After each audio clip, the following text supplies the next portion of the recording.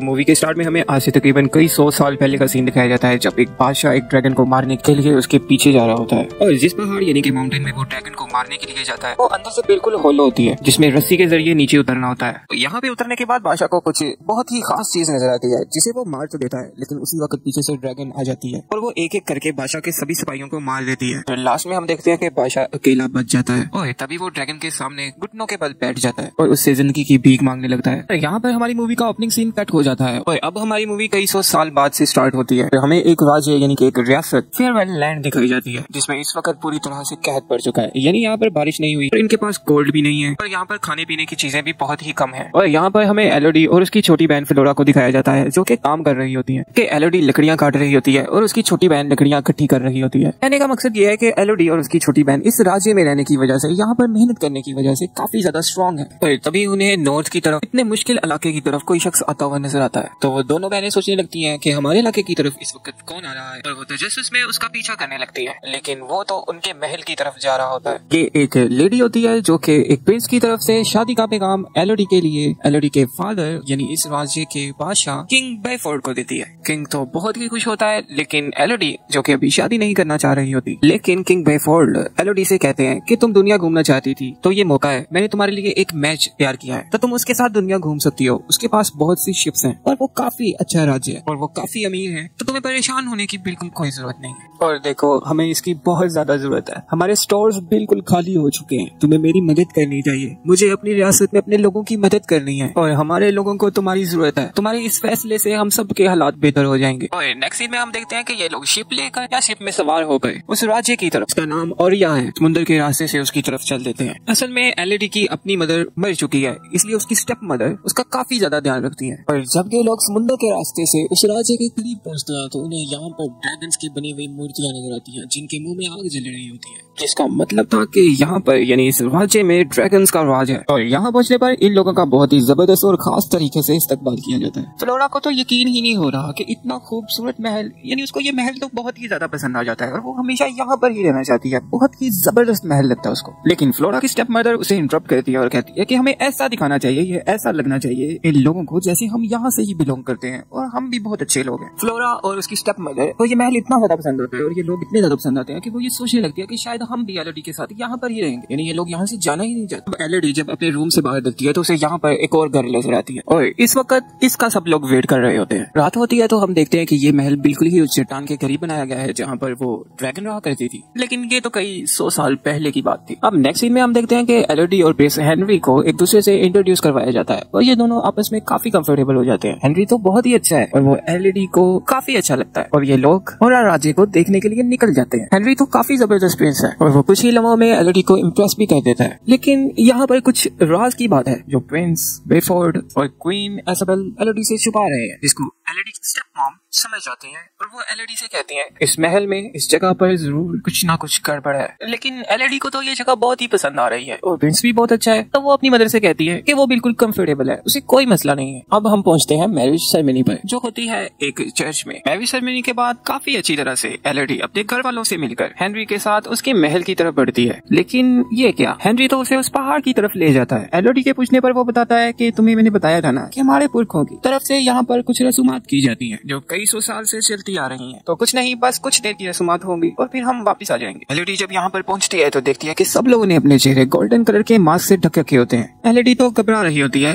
लेकिन हेनरी जो काफ़ी अच्छा है वो उसे हर बार शांत कर देता है। हेनरी की मॉम यानी क्वीन इसाबेल एलईडी को अब अपनी इस रसूमात की स्टोरी सुनाने लगती है कि हम ऐसा क्यों करते हैं। बहुत सी जनरेशन से ये हमारा टास्क है ये हमारी ड्यूटी है अपने लोगों को प्रोटेक्ट करने के लिए। तो आज तुम उन सभी लड़कियों की लाइन को ज्वाइन करोगे जिन्होंने हमारे इस राज्य को बचाने के लिए मदद की है। और क्वीन इसाबेल एलईडी की हथेली पर एक कॉइन रखती है। इस पर एक तरफ़ तो हेड बना होता है लेकिन दूसरी तरफ़ ड्रैगन बना होता है। हमारे पुरखों ने जब इस लैंड पर रहना शुरू किया तो उन्हें पता चला कि वो अकेले यहाँ पर नहीं रहते थे। कोई और भी यहाँ पर रहता था। और एक क्रिएचर एक बीस्ट हमसे पहले यहाँ पर रहता था। अपनी नस्ल अपनी काइंड का आखिरी बीस्ट था। तो क्रिएचर ने अपनी इस जगह को छोड़ा और हमारी लैंड पर कहर बसाना शुरू कर दिया। तो बादशाह ने अपने सोल्जर्स को इकट्ठा किया और बीच से बदला लेने का फैसला किया। लेकिन बादशाह का स्टील यानी तलवारें बीच के लिए कोई मैच नहीं था। और हर शख्स मारा गया। तो उस बीच ने बादशाह के सामने एक शर्त रखी इस लैंड को फ्री छोड़ने के लिए कि वो अपनी हर नस्ल से अपनी तीन बेटियों को कुर्बान करेगा। तो ये उस मॉन्स्टर की तरफ़ से बादशाह के लिए एक टॉर्चर था। तो हमेशा से ऐसा चलता आ रहा है कि तीन प्रिंसेस बीस्ट को दी जाती हैं और हमारा किंगडम हमारा राज्य, हमारी रियासत महफूज रहती है। और तभी क्वीन इसाबेल एलईडी के हाथ पर कट लगाती है और प्रिंस हेनरी के हाथ पर भी एक कट लगाया जाता है और दोनों के खून, यानी ब्लड आपस में मिक्स कर दिए जाते हैं। और बस इतनी सी सेरेमनी थी। काफ़ी अच्छी सेरेमनी थी। एलईडी तो बहुत कंफर्टेबल है। प्रिंस हेनरी भी बहुत अच्छा है और ये लोग वापस जाने लगते हैं। अब हेनरी एलईडी से कहता है कि मैं तुम्हें अपनी गोद में उठाना चाहता हूँ इस ब्रिज को क्रॉस करने के लिए। और उसे कहता है कि अपनी आँखें बंद कर। लेकिन जैसे ही वो ब्रिज के सेंटर में पहुँचता है तो वो एलईडी को एक ही झटके में ब्रिज से नीचे फेंक देता है। कई फुट नीचे गिरने के बाद एलईडी को काफ़ी चोट लगती है। और जब उसे होश आता है तो तब उसे पता चलता है कि मैं ही सेक्रीफाइस थी। मुझे ही सेक्रीफाइस किया गया है। मेरी ही कुर्बानी थी। और मेरी ही कुर्बानी दी गई है। तो ये सामान, ये जेवर, ये सोने की चीज़ें, ये नेकलेस जो यहाँ पर पड़े हुए हैं, ये मेरे नहीं है। मुझसे पहले पता नहीं कितनी प्रिंसेस कुर्बान की जा चुकी है। अब एलईडी मदद के लिए चिल्लाती है। वो बताना चाहती है कि मैं ज़िंदा हूँ। मेरी मदद की जाए और उसकी आवाज़ सुनकर दोस्तों ड्रैगन अपनी आँखें खोलती है।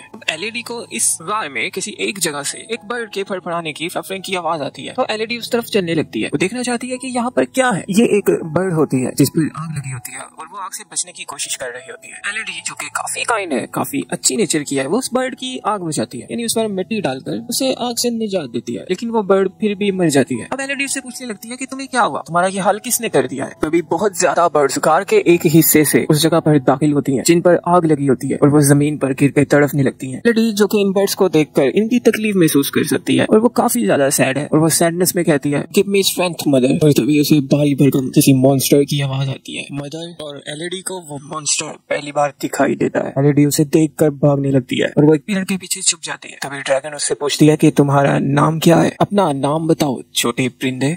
एलोडी मेरा नाम एलोडी है। और तुम क्या चाहते हो? ड्रैगन जवाब देती है कि वो ही जिसका वादा किया गया था। जनरेशन में तुम्हारी किस्म के लोगों ने जो मुझे पे करना है। ये सुनकर एलईडी सोचने लगती है कि मेरी तरह के लोगों ने तभी ड्रैगन बोलती है रॉयल रॉयल्टी ने तुम लोगों को खराब कर रखा है। ये तुम्हारा खून है जिसे मैं सूंघ सकती हूँ। ये रॉयल घराने का खून है। एलईडी को सारी बात समझ आ चुकी है कि उसका और हेनरी का खून क्यों मिलाया गया था? और उसकी हथेली पर क्यों लगाया गया था? और अब ड्रैगन बोलती है कि अब मेरी ज़िंदगी का सबसे फेवरेट हिस्सा, और वो अपने मुँह से आग निकालने लगती है एलईडी को मारने के लिए, यानी रॉयल फैमिली की गर्ल को मारने के लिए। और एलईडी उस फायर से बचकर दूर भागने लगती है। एलईडी भागते हुए जिस जगह पर जाती है, वो वहाँ पर उस लड़की को भी देखती है जिसका सभी लोग वेट कर रहे थे। पूरी तरह से जल चुकी थी।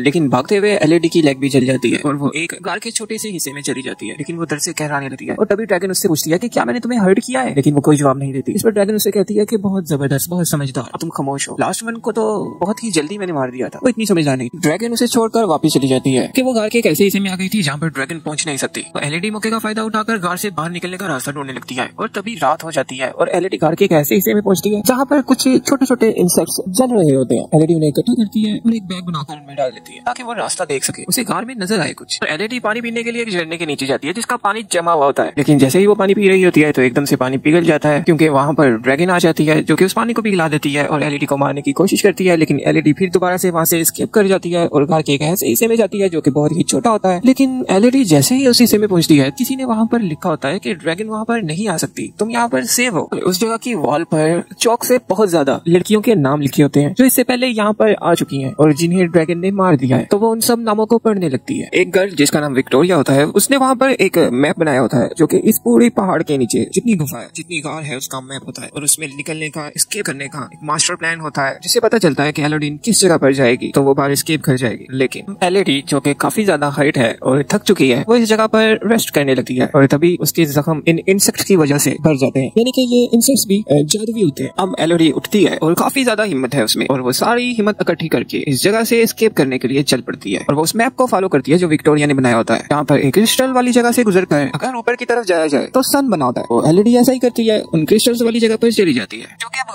का बड़ा हिस्सा है, जहाँ पे ड्रैगन आ सकती है। अब एलईडी उन क्रिस्टल्स पर क्लाइम करके ऊपर जाती है। जो क्रिस्टल्स काफ़ी शार्प होते हैं और अगर एलईडी उन पर गिरती तो वो मर भी सकती थी। लेकिन बिल आकर एलईडी ऊपर पहुँच ही जाती है और उसे सन बिल्कुल सामने नज़र आ रहा होता है। यानी उसके चेहरे पर लाइट पड़ रही होती है और वो बगैर कुछ सोचे समझे उसकी तरफ़ बढ़ने लगती है। लेकिन जैसे ही वो इस गुफा के बिल्कुल एंड पर पहुँचती है तो नीचे गिरने लगती है और वो संभल कर देखती है तो वो अभी भी ज़मीन से कई फुट ऊँची होती है और तभी उसे गुफा की तरफ़ आते हुए कुछ लोग नज़र आते हैं जिन्हें वो हेल्प के लिए चिल्लाने जाने लगती है। लेकिन अभी वो इसे सुन पाते इससे पहले ड्रैगन उसे पकड़ने के लिए इस गुफा के ओपनिंग हिस्से पर आ जाती है। और बस वो उसे मारने ही वाली होती है, आग से। एलोडी देखती है कि विक्टोरिया जो यहाँ पर आई थी, वो भी यहाँ पर जल के मर चुकी है। और अब यहाँ से भागने का कोई रास्ता नहीं, क्योंकि वो इतनी स्पीड में इन क्रिस्टल से नीचे नहीं उतर सकती। तो वो बस मौत का इंतज़ार करने लगी। और तभी गुफा के सेंटर में से ड्रैगन को किसी की आवाज़ आती है, जो की एलईडी को पुकार रहा होता है। और ड्रैगन कहने लगती है वट ये क्या? ये कौन है? कोई मेरी शिकार को पुकार नहीं सकता। और ड्रैगन एलईडी को वहीं पर छोड़ती है। वो उसके साथ अभी और खेलना चाहती है। और वो उन लोगों को मारने के लिए जो एलईडी को पुकार रहे होते हैं केव के सेंटर में जाती है। और वहाँ पर वो उन्हीं सभी लोगों को मार देती है, जिनमें से एक एलईडी के फादर होते हैं। और वो बच जाते हैं। और ड्रैगन उससे पूछती है कि तुम कौन हो? मुझे तुम किंग लगते हो। तुम यहाँ क्यों आए हो? अपनी बेटी के लिए आए हो? तो उसे आवाज़ दो जिस पर किंग को पता चल जाता है। कि एलईडी अभी ज़िंदा है। तो किंग बायफोर्ड एलईडी से कहने लगे कि एलईडी मुझसे गलती हुई है। मैं शर्मिंदा हूँ तुम प्लीज़ बाहर मत आना। मैंने तुम्हारी ज़िंदगी के बदले अपनी लैंड का सौदा किया था और मैं बहुत ज़्यादा सोना लेकर अपनी लैंड में चला गया था। लेकिन फिर मुझे पता चला कि तुम मेरी ज़िंदगी की सबसे कीमती चीज़ थी। इसलिए मैं अब वापस आया हूँ तुम्हें लेने के लिए। तो ये सुनकर ड्रैगन किंग बायफोर्ड को भी मार देती है और तभी उसे करीब से एलईडी की आवाज़ आती है। उसे देखने के लिए उस तरफ़ जाने ही लगती है कि एक और आवाज़ सुनकर वो डिस्ट्रैक्ट हो जाती है और ड्रैगन उड़कर उस तरफ़ चली जाती है। और तभी एलईडी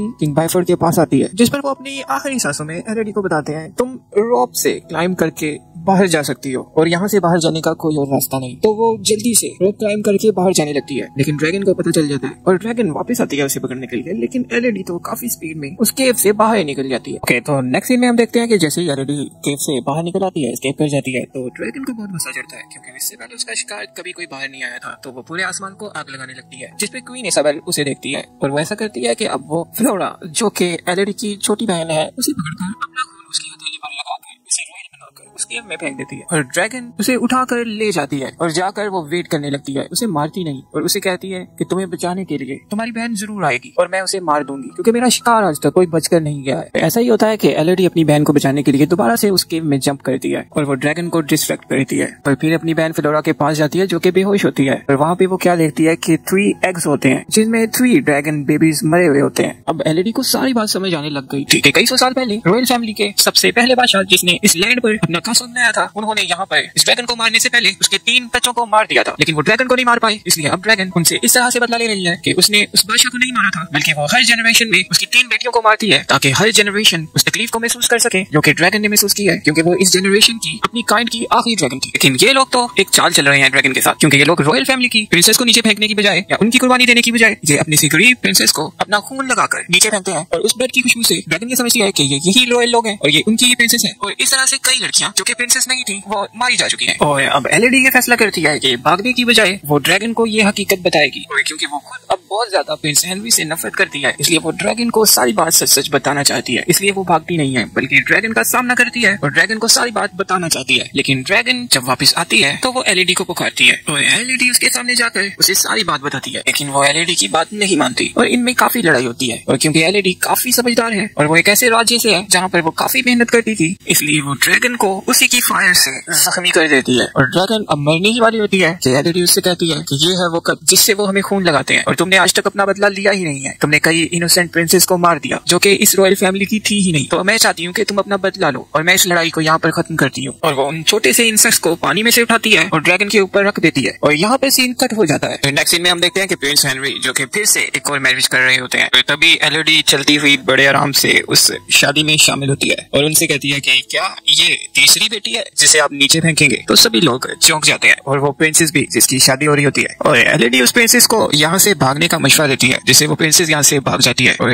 तभी यहाँ पर ड्रैगन आ जाती है, जो की अपनी फायर से इस पूरे कासल को जला देती है और एलईडी वहाँ से सही सलामत बाहर निकल जाती है। और नेक्स्ट सीन में हम देखते हैं की अब वो ड्रैगन एलईडी के साथ ही रहती है। और दोस्तों, यहाँ पर हमारी मूवी की स्टोरी खत्म हो जाती है।